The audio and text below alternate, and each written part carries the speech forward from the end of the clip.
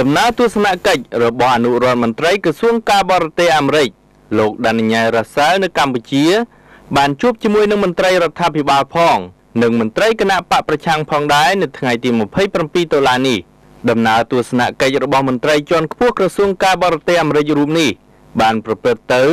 នៅក្នុងពេលដែលការបោះឆ្នោតជ្រើសរើសប្រធានាធិបតីថ្មីអាមេរិកនឹងឈានចូលមកដល់ក្នុងរយៈពេល12ថ្ងៃទៅមុខទៀតលោកដានីញ៉ែលរ៉ាសែល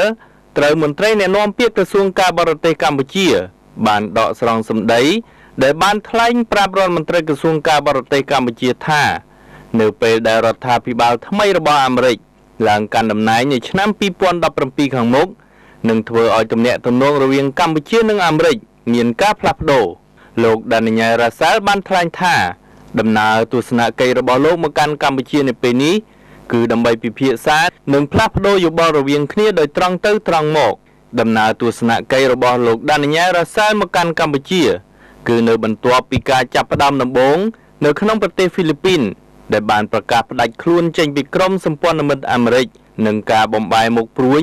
ងាកមករកប្រទេសចិននិងរុស្ស៊ីដែលជាមហាអំណាចនៅក្នុងតំបន់វិញ ប្រធានាធិបតីហ្វីលីពីន លោកឌូតេតេ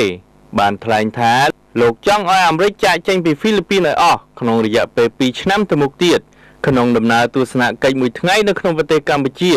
គឺថ្ងៃទី27ដុល្លារនេះទៀត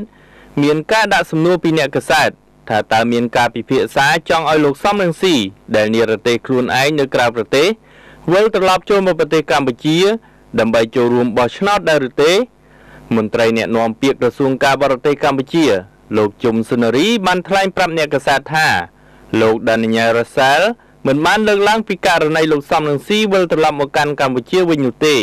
មន្ត្រីក្រសួងការបរទេសបានថ្លែងថាលោកដានីញ៉ែលរ៉ាសាល់ក៏មិនបានជជែកអំពីរឿងលោកសំរងស៊ីដែលចង់ត្រឡប់មកចូលរួមការបោះឆ្នោតនោះផងដែរ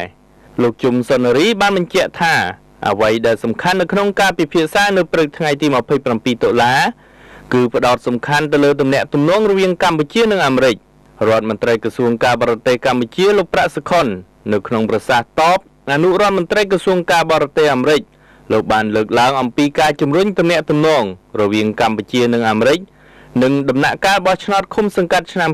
2017និងឆ្នាំ2018ខាងមុខរដ្ឋមន្ត្រីក្រសួងការបរទេសកម្ពុជាបានលើកឡើងអំពីស្ថានភាពនយោបាយចុងក្រោយនៅក្នុងប្រទេសកម្ពុជា ដែលគណៈបកប្រឆាំងបានចូលរួមក្នុងកិច្ចប្រជុំគណៈកម្មការអចិន្ត្រៃយ៍រដ្ឋសភានៅថ្ងៃទី26ដុល្លារផងដែរក្រៅពីផ្ដោតអំពីស្ថានភាពនយោបាយរដ្ឋមន្ត្រីក្រសួងការបរទេសកម្ពុជា បានប្រាប់ភ្ញៀវអាមេរិកនៅករណីពលករខ្មែរ4នាក់ដែលរងការចាប់ចងដោយក្រុមចៅសមុទ្រនៃប្រទេសសូម៉ាលី នៅក្នុងរយៈពេល5ឆ្នាំមកហើយនោះត្រូវបានគេជួយសង្គ្រោះនិងត្រៀមវិលត្រឡប់មកកាន់កម្ពុជាវិញដើម្បីជួបជុំបងប្អូនសាច់ញាតិនៅថ្ងៃទី30ដុល្លារខាងមុខផងដែរ សេចក្តីរាយការណ៍តាក់ទងទៅនឹងដំណើរទស្សនកិច្ចមួយថ្ងៃនៅរាជធានីភ្នំពេញរបស់លោកដានីញ៉ែលរ៉ាសែលបានឲ្យដឹងទៀតថា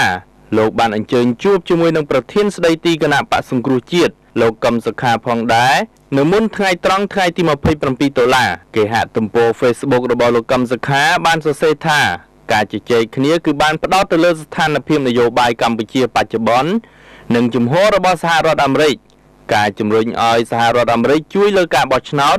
និងជំហររបស់គណៈបកសង្គ្រោះជាតិបើសិនជាមានការជាប់ឆ្នោតក្រោយឆ្នាំ2018